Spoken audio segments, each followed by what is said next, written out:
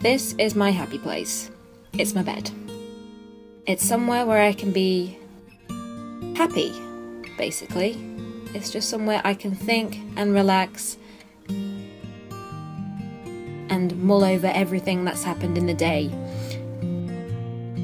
It's somewhere I can connect with people on my phone, through texting, or even on the phone. It's somewhere I can just be upset and happy.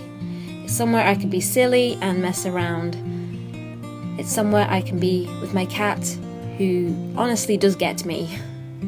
It's somewhere I go to sleep and somewhere I wake up or don't want to wake up in. I can read here, I can create memories and write a book.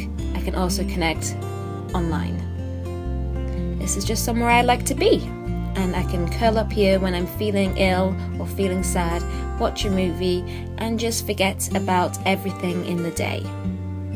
Hello everybody, I hope you enjoyed this little video about my happy place. I thought it was just an insight into more of me and I was wondering what is your happy place? It could be anything from like a museum to a park, your toilet, to just a person. You could have a favourite happy person like my cat. He, he makes my happy place even more happier when he's just here with me. You can't see him but he's there.